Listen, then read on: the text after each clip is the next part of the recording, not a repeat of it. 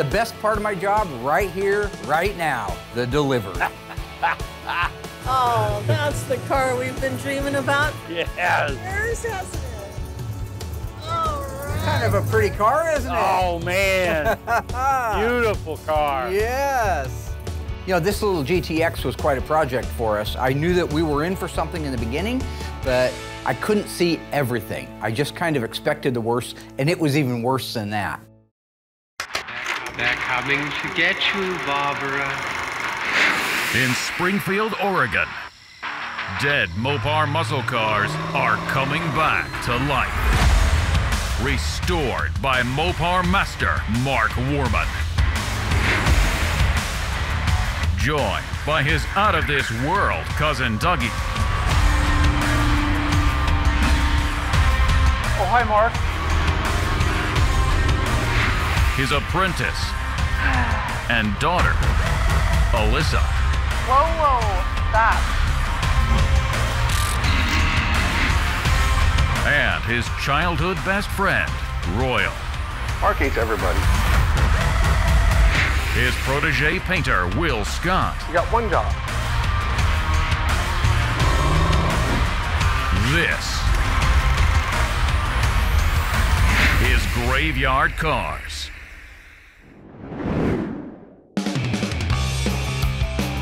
So going back a few seasons ago when the car first arrived, I wanted to walk around it with Alyssa. It was a great teaching subject to say how easy it is to hide sins.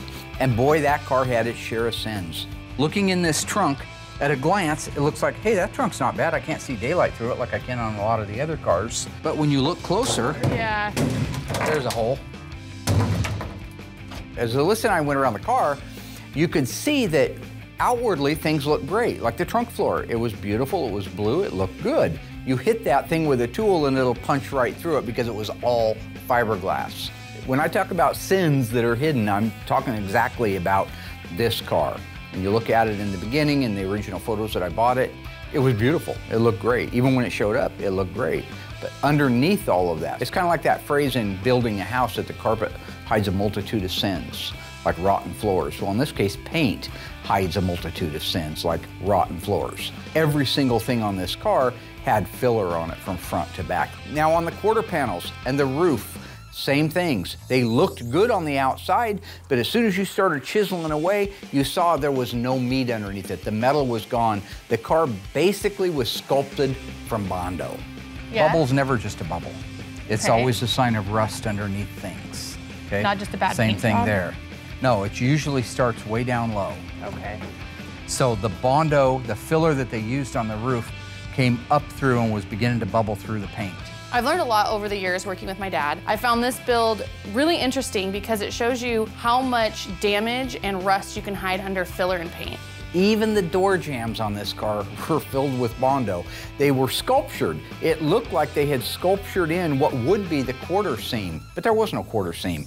It was just made out of filler. Kudos to the guy that did the filler work on it. You have a job at Graveyard Carz if you ever need one. Nice work. Just should start over a little better substrate. I'm sorry, I shouldn't use words like that. You should start with better metal. When you're speaking about validating a car to make sure that it's real and that it's a numbers matching, in this case we've got a 69B body, all right, it's a Plymouth GTX. There are two hidden body numbers on this car. We've talked about it many times in the show. One is underneath where the weather strip goes on the trunk lip. It'll be the last eight characters of the vehicle identification number. That same number appears on the upper tie bar. These are both weld-in panels, and they're both relatively hidden. Back in the old days, before people knew about the hidden body numbers, if they were just to steal the dash out of one car and put it in another one, or do some kind of a hokey rebody for whatever reason, those numbers would scream at you something was wrong.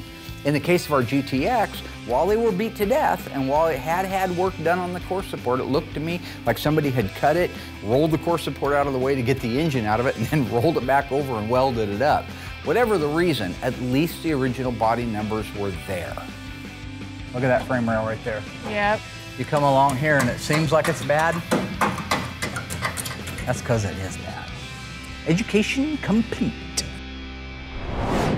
So in the metal replacement on this car, I would put in the top 2% of all of the graveyard cars that we've done as far as the amount of metal. There was so much we didn't even have time to film it. We, we couldn't have. It would be a, an entire season-long car when you talk about the metal. So with this particular car, when we got it back from the dipper, they delivered dust. It was just metal shavings. That was all that was left of this car. You're talking the front inner fenders, obviously the front fenders had to be replaced too. The hood had to be replaced. The upper cowl panel and firewall had patches put into them. Both doors were garbage. We had to get new doors for it from Auto Metal Direct. The floor, the step wells, the under seat pan, the trunk pan, the inner and outer wheel houses, the Dutchman panel, Dutchman panel support, trunk hinge supports, rear body panel, quarter panels, drip rails, roof skin. Uh, what else am I possibly forgetting here? I feel like my cousin Vinny when he's rattling off all the things that he says to Marissa to me, could you possibly dump more on my head? I don't know, could you? Nate puts his hand. That's a cute movie. She looks smoking. The point is that there was a lot of metal that needed to be replaced on this car. I think we even had to do the trunk lid. So when it came time to build it, we had to replace everything. When you have to replace everything, you got to paint everything too. You know, it's when the quarters are off, it's doing the sound deadener from front to back and then painting it from front to back. First statement, B5 is my favorite color. For real? For real. It's why is it that contradicts everything? Panther pink. Uh, so B5 blue, Mark has asked me to say on camera, it's one of my favorite colors. It's truly not. We've done that color a hundred times. It is a gorgeous color. I'm just not a big fan of blue. There's nothing I like about it. I like green, I like pink, I hate blue. You, you want me to be dishonest on camera, and I'm not gonna do that for everybody at home. Talk about how fun it is to build a formula. So one of the problems we have today is these questions are not very accurate. Making these colors, it's not fun. You know, you go to the computer, you print the label, how much you want to make, then you go right into the mixing room, double check your toners, make sure you have everything, which it's hit and miss because it requires so much when you make three gallons. Because three gallons, that's actually six gallons sprayable. So like right off the bat, we got a, you know, we got a metallic toner here. Right after that, takes a second metallic. Then jumps over with the blue, but we're not done. It gets another blue. So you're looking at like seven, eight colors between the silvers and the blues and the greens that pick, go together just to get B5 blue. And when you mix three gallons of color, it takes a good hour and a half. I don't like mixing color. That's why I have entrusted Noah in doing it moving forward because he's a great helper. So basically, I go into paint, there's three gallons, unreduced, ready to go. Horrible questions. Yeah, gosh.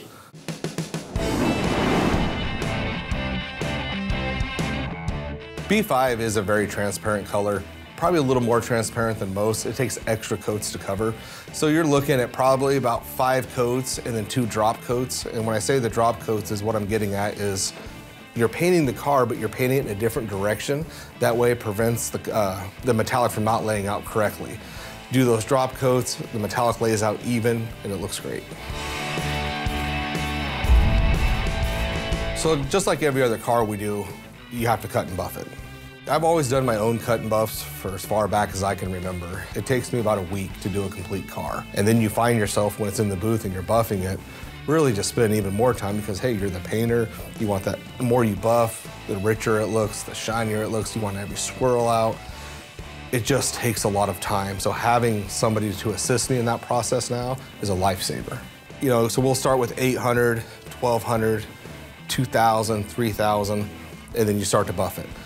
When you have to do the blackouts on the hood and the rockers, because they go a flat color, you really ought to make sure, especially those areas, are buffed out to perfection.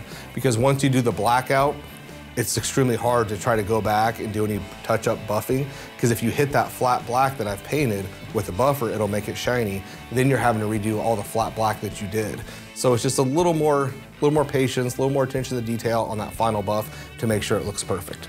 So when it came time to do the stripes and the rockers, they have a kit that's called Hot Rod Black. You just mix it, it's ready to go. You mask everything off, double check your measurements. Luckily, we have a lot of cars here, so you can just go out to the graveyard, take original measurements, and then do the markings on the GTX of where the stripes are supposed to go. You take that hot rod black, it's a single stage. You let it dry overnight. Don't try to rush it, because if you rush it, it's blotchy here and it doesn't look right. So just give it time to dry. It dries a nice, natural, flat finish, and it looks amazing. In the world of factory mistakes, which we've talked about several times on Graveyard Carz, this one takes the cake. All right, I've had numbers transposed, I've had the wrong character in the VIN for the engine. We've got a 69 Hemi Charger RT that doesn't have the famous J code in the fifth position of the vehicle identification number, which is the most important one. You know it's a real car, but it's a factory mistake. But this one took the cake, so much so I even had Tony D'Agostino from Tony's Mopar Parts come out with me on that episode. I had him read through the vehicle identification number that was stamped onto the block and the one that was stamped into the transmission. What they should be, this is an early 69 car, so they should be the full vehicle identification number and it should match the full vehicle identification number on the dash, on the title, on the radiator support, and on the trunk lip. It didn't. Have you ever seen anything quite like that? Uh, no. Not quite like that. Well, it's a full VIN. It's a full vehicle identification number. But it's a full VIN for a 383 Super Bee. So first thing you're sitting at home is thinking, well, then it's got the wrong engine and transmission. I don't think so. What we had was a 440 Super Commando engine, as it should be, standard on all GTXs. The vehicle identification number that was stamped into it was from a 1969 Dodge Super Bee. Yet the sequence number of that vehicle identification number matched the car. So it was the first, I think, six characters that were completely from another car that were stamped into this engine and transmission. It's obviously not a 383, and when you read that vehicle identification number, that's a H code, which is a 383. So it gets a little confusing. If you go back and watch that episode, you'll see where we break down the, the VIN on that car and how it all works. But basically, somebody took half of the vehicle identification number on the assembly line, stamped it into the engine off of a Super Bee, and then the rest of it was the series number for the actual GTX. It was absolutely fascinating. Even to this day, it is one of the most fascinating mistakes I've ever seen, and Tony would agree with that. Again, I, I can't see any motivation for this. This is a freak. It's just a freak. It's a freak. It really is. The guy on the assembly line could have been drinking. It's always possible. Or he could have been in a hurry, or just plain not paying attention. Did you guys see my t-shirt? Nakatomi Christmas party. so that goes back to the whole yippee bad word thing. And Hans, Hans Gruber, he was a bad man. Uh, yes, what is that you said? Uh, Yippee Marfa. I don't think they have to, to, to bleep Marfa.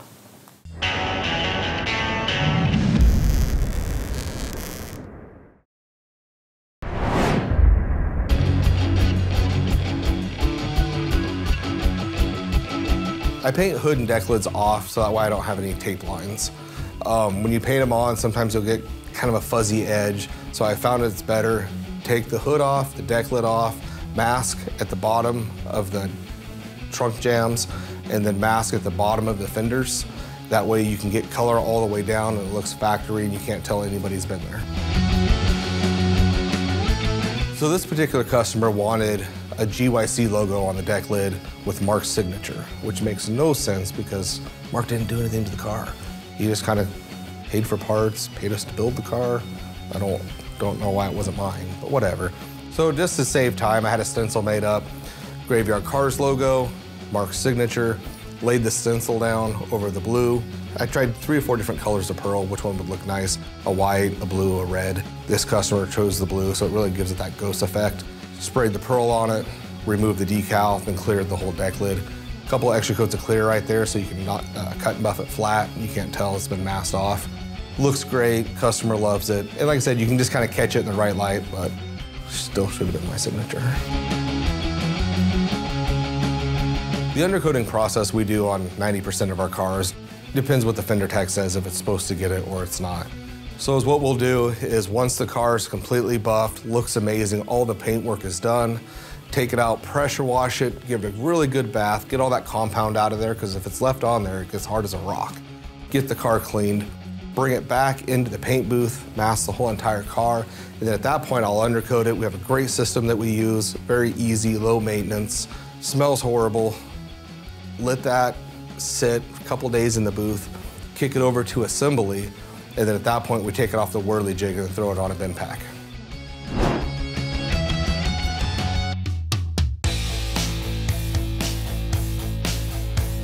We have a dowel pin right here. Yep, and that's gonna go in this reservoir? Correct. I love working with Alyssa. She helped me assemble this 440 engine. She came in with her fresh nails done, and I'll tell you what, I was so impressed. I think she did a better job than I did with these long nails on. I don't know how she did it. Look, my dad didn't tell me that I was gonna be working with Doug. So I went and got my nails done, and I got them done the way that I like them, which is a little bit long. And boy, did the keyboard commandos go off on that. Watch your fingers. Powerful. There it is. Great. I love working with Alyssa. She really pays attention. She does a great job. She's a great helper. She's very smart.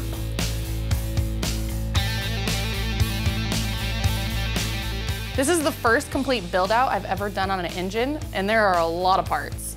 You know, I love working with Doug. He's such a great teacher. He's so patient and kind, and he never treats me like I'm stupid, even when I ask stupid questions. Are we getting close to being done? I feel like we were like moving so quick. It's been so easy so far. So I really appreciate that. And you know, anytime I have a chance to work with Doug, I definitely take it. You know, he's not full of insults or put downs like other people. Who are you talking about, Alyssa? Nobody in particular. So we got the engine done, came out great. Alyssa did a great job, and uh, it was so much fun explaining all this to Alyssa. I'll always remember this as my first engine build. And the best part is, I got to work with family.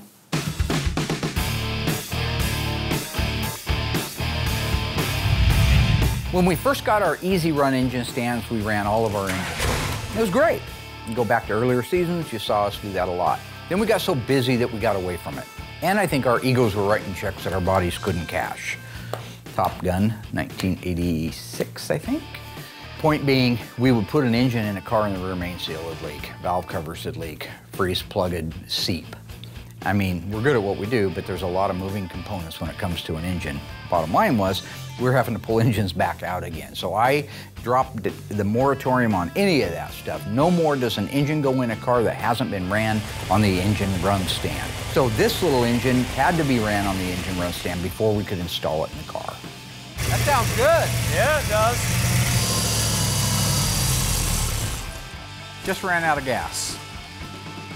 Why'd you let it run out of gas, Dougie? I don't know. You know, I never understood why you only put one ounce in there.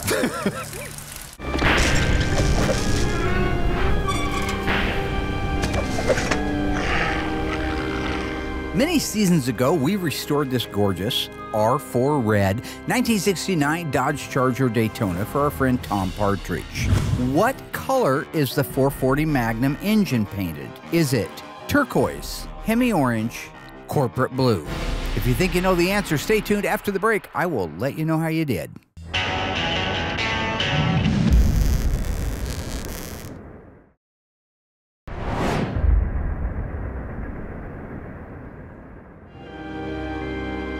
All right, ghouls, welcome back. How did you do on that one? What color from the factory was the 440 Magnum in our 69 Charger Daytona? If you said corporate blue, you are absolutely wrong. It was Hemi Orange. 69 to 70 was Hemi Orange with, I believe, a few 71s. Corporate blue on the high performance engines didn't start showing up until late 1970. And the turquoise, that was 68 and earlier. This was one of the funnest builds we did at Graveyard Carz because it truly was a basket case when we started. But when we were all done, this car was beautiful, like new from the front to the back and the top to the bottom.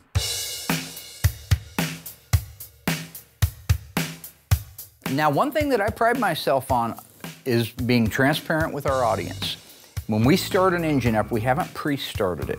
I know that this happens a lot in the Hollywood world and in the car show world, because they don't want to look bad. I don't care if I look bad. I just want you to see what we deal with. The reason I point out the painted manifolds is this. When we finish assembling an engine, when Doug is all done assembling an engine and the pieces that are supposed to be painted engine color are on it, we don't start it at that point. We send it down to Will. He takes a month and a half to paint an engine that should take the average guy a day. When that engine comes back from Will, it's painted from one end to the other, including the exhaust manifolds. That's the way the factory did it. You may not like it on Keyboard Commando, but that's the way they did it. We put it on the engine run stand, and after about five minutes, those manifolds start getting up to 400 and 500 degrees. It bakes that paint off of there. So when I'm pointing it out that we're not faking that, we're showing you the paint is burning off for the very first time. That's because the engine is running for the very first time. So if there's a failure, we share it with you. We don't cut. Hey, that's leaking. Hey, this. We've had engines rattle when we fired them up. We've had them drip a little bit, valve cover leaks. We've even had one or two in the past that we filmed that had rear main seals leaking in them. But the point is show everything. Let the audience see what you have to go through to be able to put one of these cars together.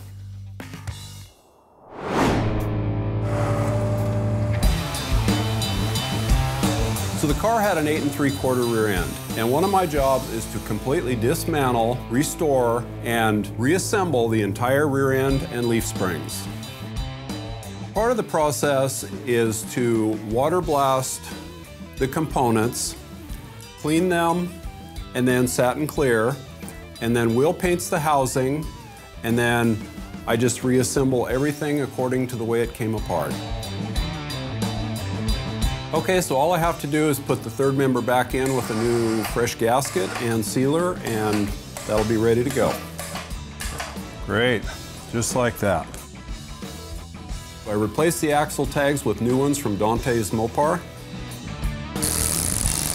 Now I'm going to install the backing plates, and this car is optioned with front discs, so I'm going to put 10-inch rear drums on this car. After I have the backing plates installed, I'm going to go ahead and put the uh, axles in with new bearings on them. So the axle flanges hold the axles and the new bearings and the backing plates all in place in the uh, three-quarter housing. Next, I install the parking brake cables through the backing plates to the brake shoes. So now that I have the axles and backing plates on, I can put the wheel cylinders on So then I installed a secondary brake shoe on the back, and this is where I attached the parking brake cable.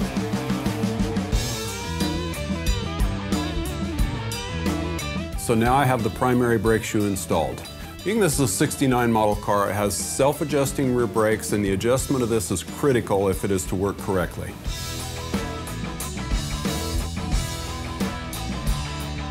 The last thing I'm going to put on here are the new rear brake drums.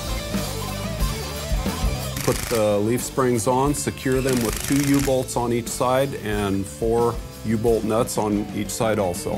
The front leaf spring hangers go on next, and on the rear, we put on the shackles.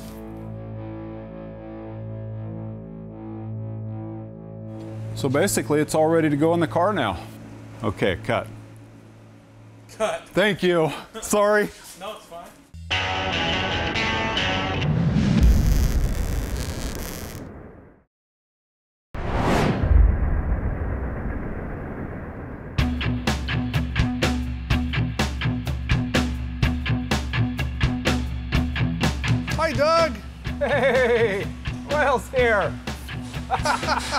yeah.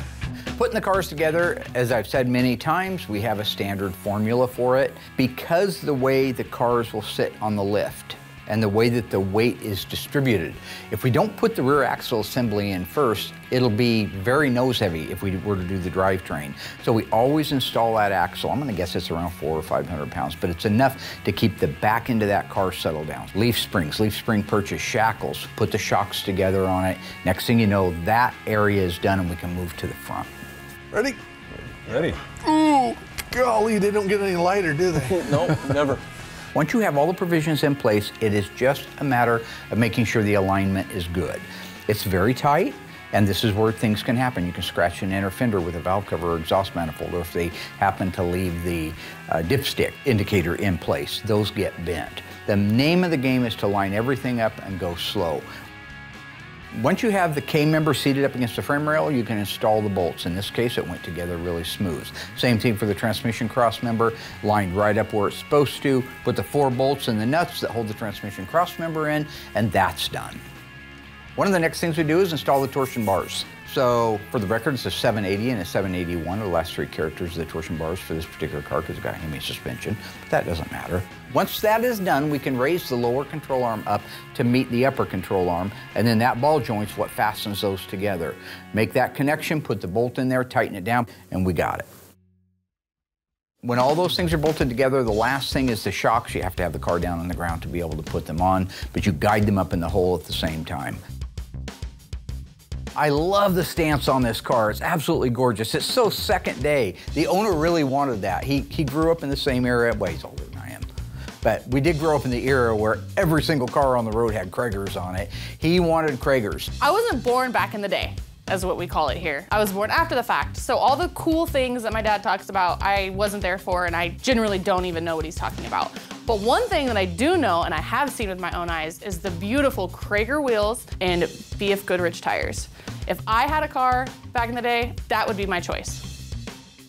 So what we ended up going with, for you guys at home that like the stance too, it is a 15 by 8 inch wide standard offset Cragar Classic five spoke on the back and a 15 by 7 standard offset Cragar Classic on the front. The tire on the rear is a 275-60 BF Goodrich TA radial. The one on the front is a 245 BF Goodrich TA radial. Thanks to our friends over at 1010 Tire. Oh, that's a gratuitous plug. Well, leave it in. Or you think I can crap tires out?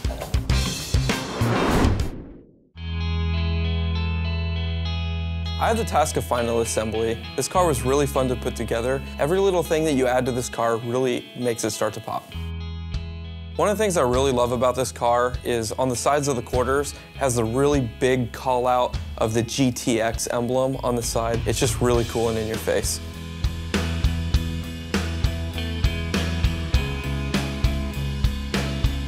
Being a GTX, this car has a lot of chrome trim and accents on it, but one of the best parts about it is the beauty plate that goes on the back of the trunk. Just the beauty plate in the back and the chrome taillight bezels really just sets the back end of this car off.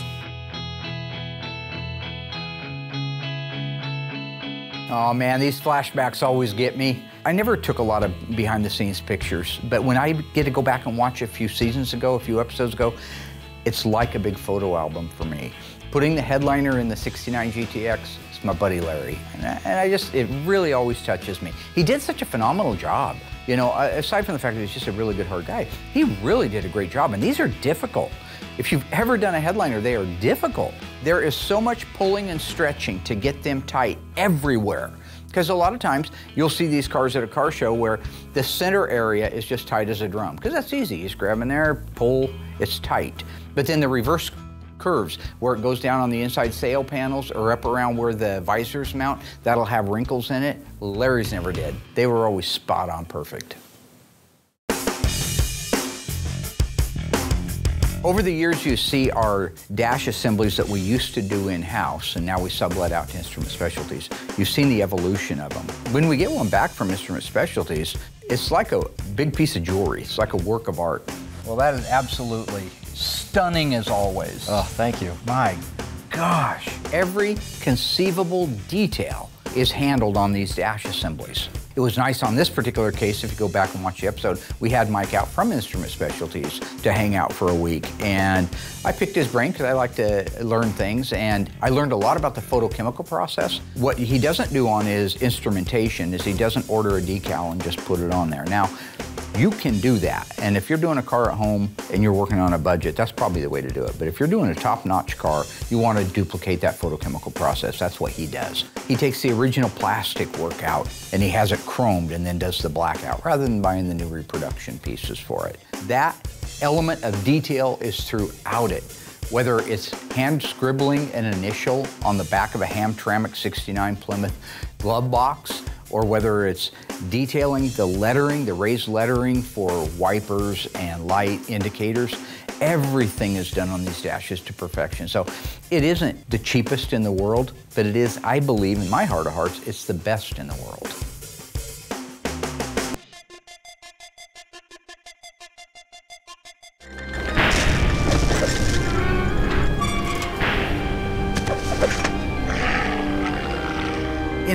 Previous season of Graveyard Carz, we restored this stunning 1968 Plymouth GTX 440 Super Commando for the World Wrestling Champion Bill Goldberg. True or false, the transmission behind that 440 Super Commando was an automatic. If you think you remember the episode, stay tuned after the break. I'll let you know how you did.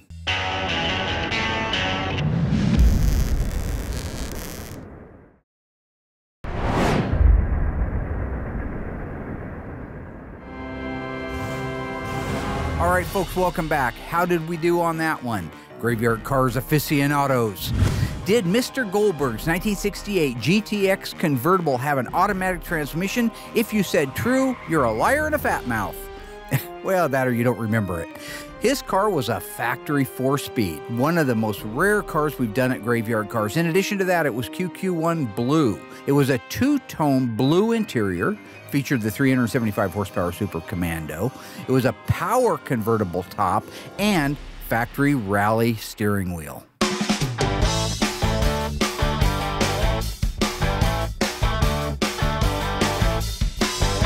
After I get the carpet installed and everything's cut uh, exactly where it needs to be, I can move forward and put the quarter trim panels on there. After I get those in there, I can set the back seat. So I got to help install the interior in this car, and it had white door panels, and I really love that because my car had white door panels also. What's really fun about this is Mark actually tracked down my interior panels out of my Barracuda from back in the day when I was 18 years old. The car was a factory four-speed, one of only 164 318 four-speed 70 Grand Coupes, 164 in the entire world. This car was lemon twist yellow, FY1, had an A62 Rally instrument cluster with it, overhead console at C26. This car was white leather interior. Not only did my car have the white door panels, but I also had white leather bucket seats, and I also had a Hurst pistol grip four-speed.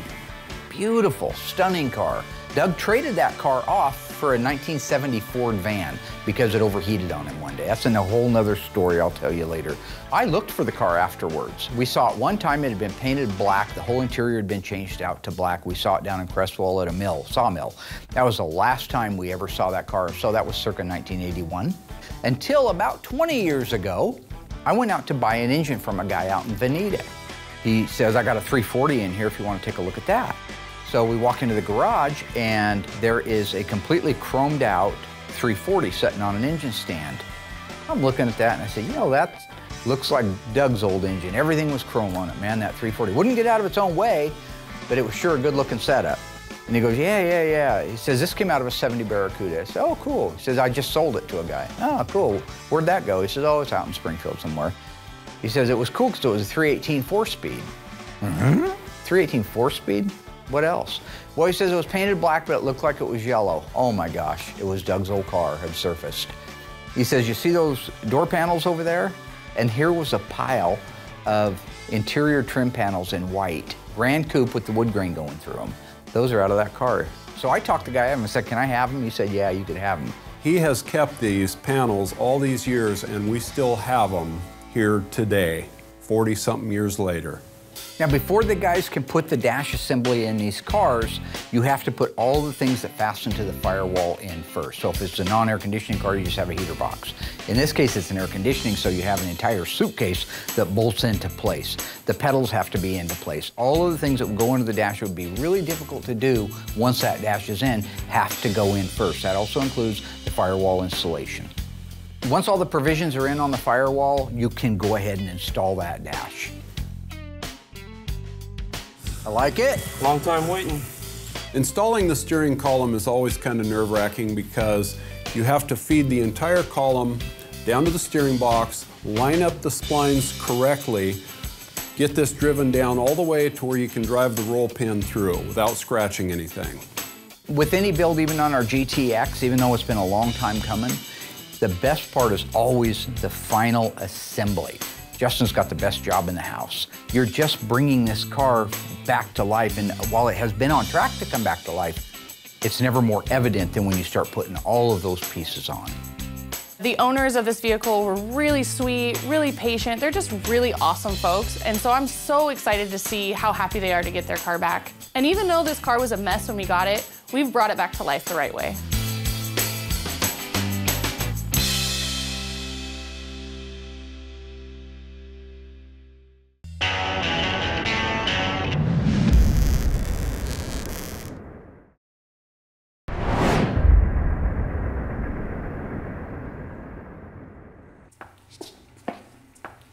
Hey there, I'm Mark Worman.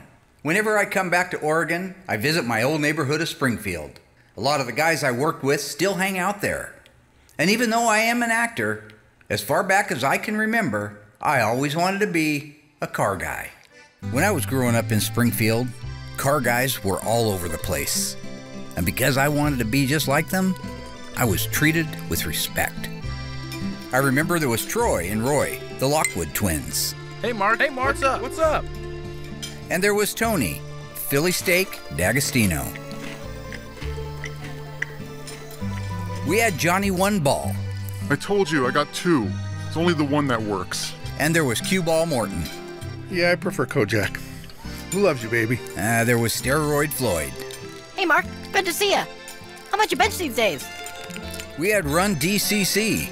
He got that name because he always ran the clear coat. Hey, it was cold in the booth, okay? Get off my back. There was Upsetting Eddie. He got that name because he would whisper something to you to draw you in Huh? What was that? and then scream. I know, right? Okay. Uh huh. There was the car thief. She got that name taking cars with low miles out for a joyride. Will told me it was okay. Get over it, Dad. And there was Susie. Why did I marry this guy in the first place, Worman? Oh, hi, Mark. Just looking for a pet groomer for Bailey.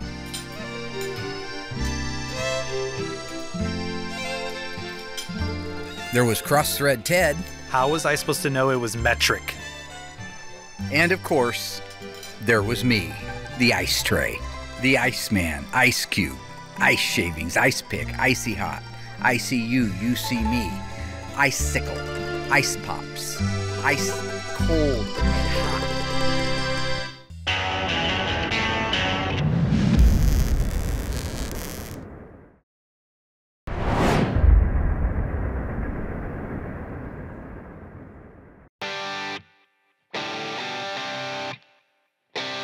This was a fun unveiling for us because it was the first time in a long time that we actually delivered the car to the customer. I used to do that quite a bit up in gentleman in Canada I used to do cars for, and we would deliver the car up to him, usually meet him at the border or something.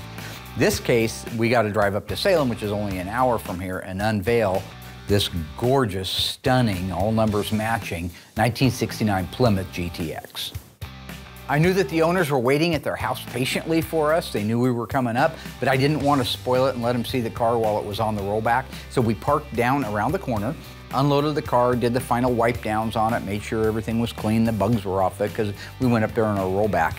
The other thing is it gave us an opportunity to start the car, warm it up, go around the block, make sure Murphy's Law, everything was working like it's supposed to. Then we were able to make the final approach to the driveway that led to their house. I'm not the kind of guy that likes a lot of attention, but it is so rewarding to return a car like this to its customers, Ron and Debbie West. They are so deserving of this car after all these years to have such a beautiful car back in their family.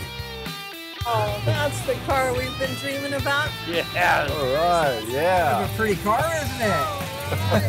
oh, man. Yes. Beautiful car. Got a nice rumble to it. That'll make the neighbors happy. well, you've been along for the whole plight. Yep. This car has never been a big fan of mine, like some people are fans of mine. I don't think it was ever a fan. It really made me It kind of fought jump you. through the hoops every time I turn around. It was something. It and was so fighting you a little bit. It was. But it you was. got there. I did. Yeah, absolutely. You know, this car I've talked about uh, was a, a pain in the rear for us. Well, it had a ton of metal that needed to be replaced on it.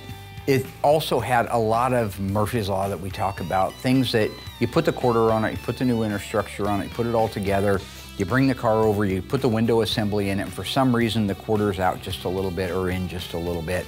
Next thing you know, you're redoing that section. All that stuff is pre-fit now. We don't have those problems, but this goes back three or four years ago, and that's just a valuable lesson. I want to take a personal moment and thank Ron and Debbie for their incredible patience and kindness throughout our way long build and never got upset with us, never treated us badly. And I knew he was really dying to get the car. So first, thank you guys. Like you said, this is a gentleman's muscle car. That's muscle right, car. right, right. It's not the one that you're going to go drag racing in. Nope.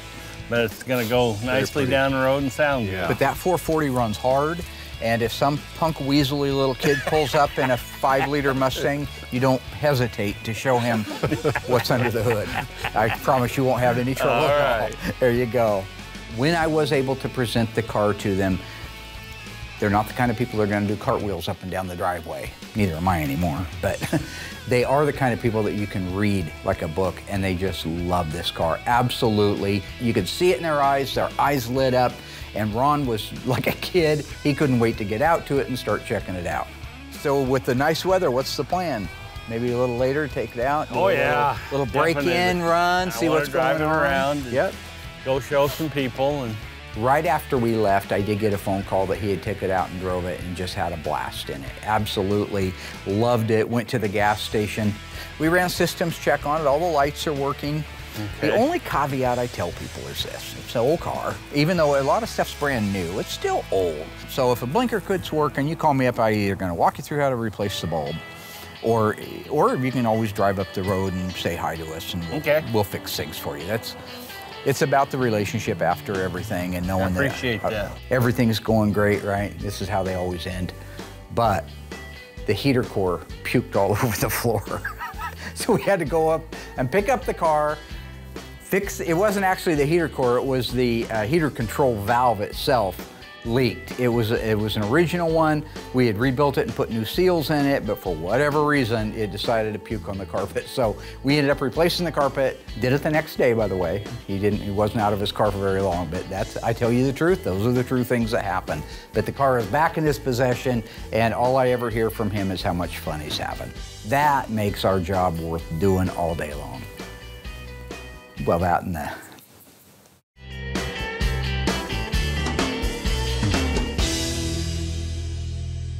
So that's a wrap for season. That's not a wrap. At the start of this season, I told all you people at home that I would be heavily involved. This has probably been our highest rated season. I would like to take some credit for that. I'm heavily involved upstairs now. I oversee second team work. You guys don't at home don't know what that means, but I do. We've implemented what was it? Post production? Oh, pre pre post. We implemented a thing called pre post. So it's when they think they're done, I look it over and they're not done, and then I make it done. So really stay tuned for this next season. I got a lot of great stuff coming, a lot of great ideas. It should be amazing. Cut? Well, I mean, I don't know if I want to cut on that. Uh, I'd like to see my name at the bottom of the credits under producer, and maybe Camera Boy can go back to Camera Boy, and Camera Boy 2 can go back to Audio Boy, and Audio Boy you can go back to. What'd you do before this? I mean, it's, it's a circle, but, but stay tuned, it'll be great.